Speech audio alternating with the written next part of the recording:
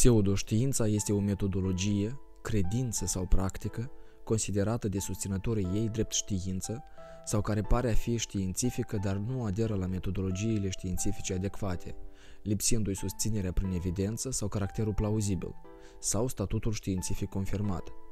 Cea mai veche utilizare a acestei denumiri se consideră ca aparținând fiziologului francez François Magendie, care este considerat unul din pionierii fiziologiei experimentale. Termenul este folosit în sens peiorativ pentru a desemna o încadrare inadecvată sau înșelătoare ca știință.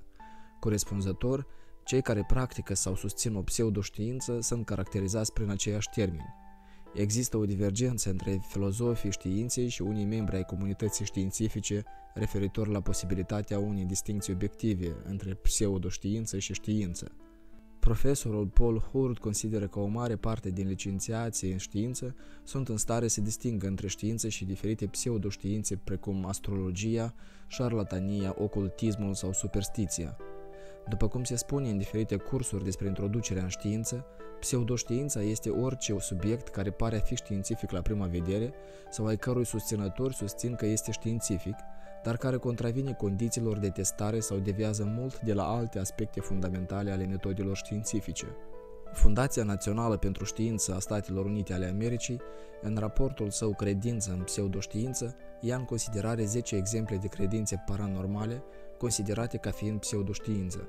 Percepția extrasenzorială, casele bântuite, fantomele, telepatia, clarviziunea, astrologia, comunicarea mentală cu morții, vrăjitoarele, reîncarnarea și spiritismul. Pseudoștiința este caracterizată de folosirea unor afirmații vagi, exagerate sau care nu se pot testa, supralicitarea confirmării în detrimentul argumentării, lipsa transparenței pentru teste realizate de alți experți și o stagnare în dezvoltarea teoriei. În timp ce standardele pentru a determina dacă un set de cunoștințe, metodologii sau practici este științific poate varia de la un domeniu la altul, o serie de principii de bază sunt unanim acceptate de către oamenii de știință. Noțiunea de bază este că toate rezultatele experimentale ar trebui să fie reproductibile și să poată fi verificate de către alte persoane. Aceste principii urmăresc să asigure că experimentele pot fi reproduse măsurabil în aceleași condiții și să permită investigații suplimentare pentru a determina dacă o ipoteză sau teorie în legătură cu fenomenele date este valabilă și de încredere. Standardele solicită ca metoda științifică să poată fi aplicată peste tot, iar prejudecățile să poată fi controlate și eliminate prin metode aleatorii. Procedurile de prelevare a probelor să fie corecte, studiile să fie obiective, precum și alte metode.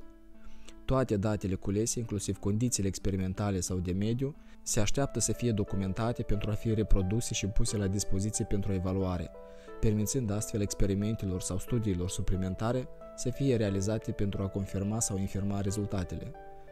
Cuantificarea statistică a importanței încrederii și erorii sunt de asemenea instrumente importante pentru o metodă științifică.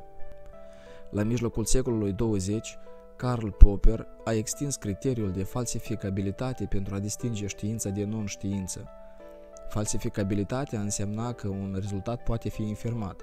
De exemplu, o mențiune precum Dumnezeu a creat Universul poate fi adevărată sau falsă, dar niciun test nu poate fi conceput care să poată dovedi niciuna din posibilități. Ea pur și simplu se află în afara posibilităților științei. Popper a folosit astrologia și psihanaliza ca exemple de pseudoștiință și teoria relativității a lui Einstein ca exemplu de știință.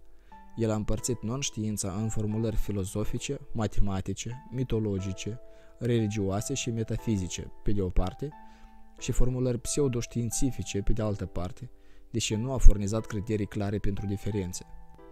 Un alt exemplu care arată necesitatea distinctă pentru o pretenție de falsificabilitate a fost dusă mai departe de Carl Sagan în lumea demonilor vânați, atunci când el vorbește despre un dragon invizibil pe care îl are în garaj.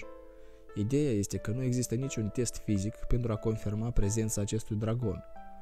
Indiferent de ce test crezi că poți imagina, Există ulterior un motiv pentru care acel test nu se poate aplica la dragonul zburător, astfel încât nimeni nu poate dovedi dacă acesta există cu adevărat. Sagan afirmă că incapacitatea de a invalida ipoteza mea nu este deloc același lucru cu a dovedi că este adevărată. Explicând încă o dată că chiar dacă există o astfel de pretenție ca fiind adevărată, ea s-ar situa în afara domeniului de cercetare științifică. În 1942, Robert Merton a identificat un mix de norme care caracterizează ceea ce face o știință să fie reală. Dacă vreuna dintre norme a fost încălcată, Merton consideră conceptul respectiv ca fiind non-știință. Normele despre care vorbea Robert Merton sunt următoarele. În primul rând, originalitate. Testele și cercetările efectuate trebuie să prezinte ceva nou pentru comunitatea științifică. Motivele oamenilor de știință pentru practicarea acelei științe trebuie să fie pur și simplu pentru extinderea cunoștințelor lor. Oamenii de știință nu ar trebui să aibă motive personale pentru a aștepta anumite rezultate. Nici o persoană nu ar trebui să poată obține mai ușor informațiile unui test decât orice altă persoană. Clasa socială, religia, etnia sau orice alți factori cu caracter personal nu ar trebui să fie factori de care să depindă capacitatea cuiva de a primi sau de a efectua un tip de știință. Faptele științifice nu trebuie să se bazeze pe credință. Fiecare caz trebuie chestionat, argumentat și verificat pentru erori sau pretenții incorrecte în mod constant. De asemenea, orice cunoaștere științifică obținută de cineva trebuie să fie pusă la dispoziția tuturor. Rezultatele oricărei cercetări ar trebui să fie făcute public și împărtășite cu comunitatea științifică.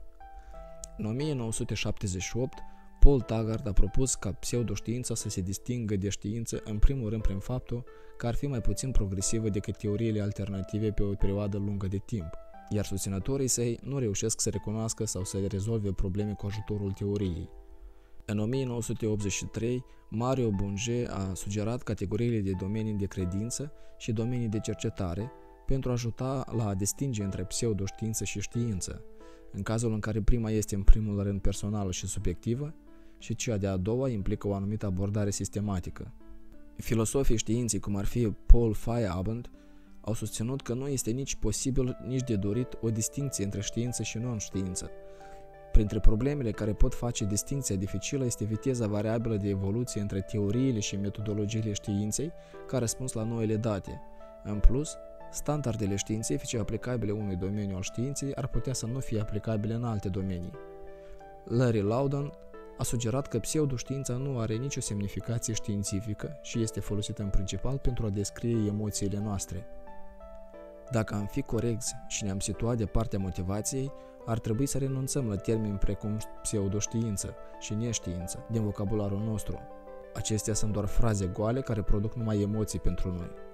De asemenea, Richard McNally afirmă că termenul de pseudoștiință a devenit ceva mai mult decât un motiv inflamator pentru demiterea rapidă a adversarilor cuiva în media și când antreprenorii terapeutici au pretenții pe seama intervențiilor lor, nu ar trebui să ne pierdem timpul încercând să aflăm dacă intervențiile se califică ca pseudoștiință.